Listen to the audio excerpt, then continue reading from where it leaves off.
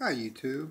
Um, this book uh, was one of the inspirations that I read uh, 40 years ago and it inspired me to uh, keep killifish and I've had killifish ever since. Recently um, I had some fish advertised and uh, one of the co-authors of the book Dr. Bruce Turner, uh, ordered some fish for me. And I just thought it was kind of ironic that, you know, uh, here 40 years later, um, the book that inspired me to keep killifish, the gentleman that co-wrote the book, was, ordered some fish for me. So I just wanted to give you uh, guys,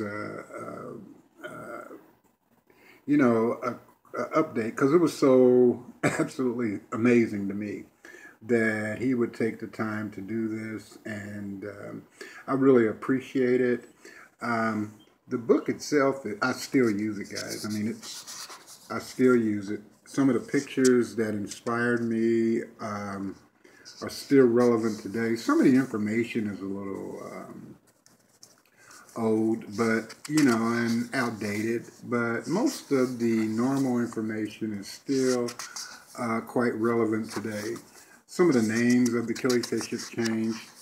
And one of the pictures that really inspired me to keep killifish was this picture. I'm getting to it. Uh, here we go. This picture of Aphyosemion australe by Dr. Vervan den Nieuwenhuizen, a German photographer. And when I saw this picture, I knew I had to have killifish. And oddly enough, I keep these fish today.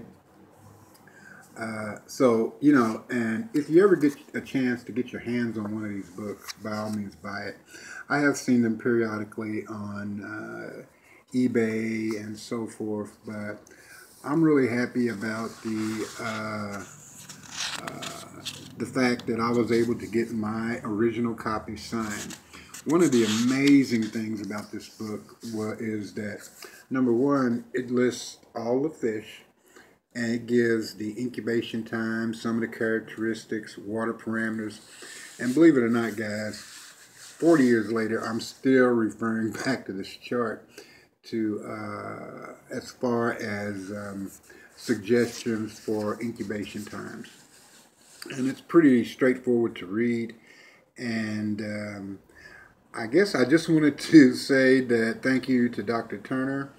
And uh, again, if you're interested in killifish, by all means, get your hands on this book because it was an absolute uh, honor to have Dr. Turner uh, sign my copy of the book and um, you know I'm really happy about that and uh, just wanted to share it with you guys.